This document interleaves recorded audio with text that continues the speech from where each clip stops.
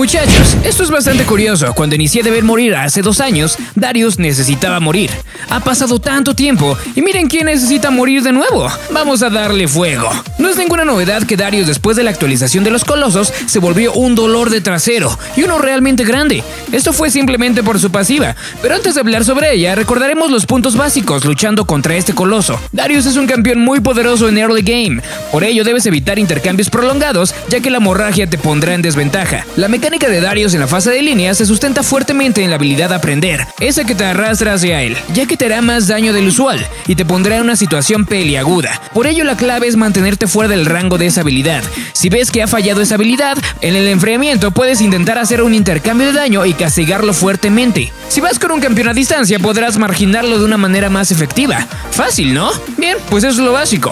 Con la última actualización, Darius obtuvo en su pasiva un efecto que hace que Darius sea de temer. Cada vez que Darius ataque te pondrá una marca, o sea, la gotita de sangre, para que lo notes bien.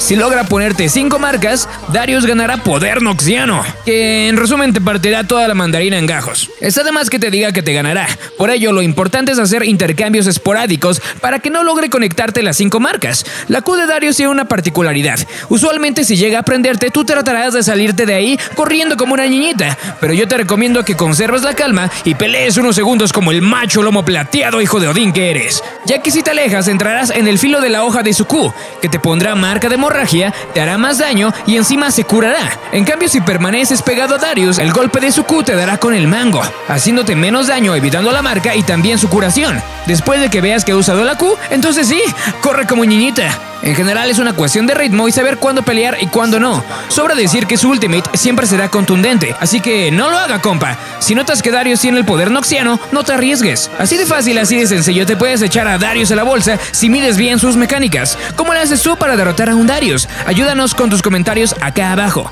Compártele este video a tu amigo que le tiene fobia a los Darius. Y también dame un like para ser un hijo de Odín. Yo me voy muchachos, pero no me voy sin antes lo colosal. Mi nombre, Robert Master, y nos vemos hasta la fucking próxima. Hey, puedes ver más videos de Robert Master aquí, seguirme en mis redes sociales acá y suscribirte a este canal dándole click aquí.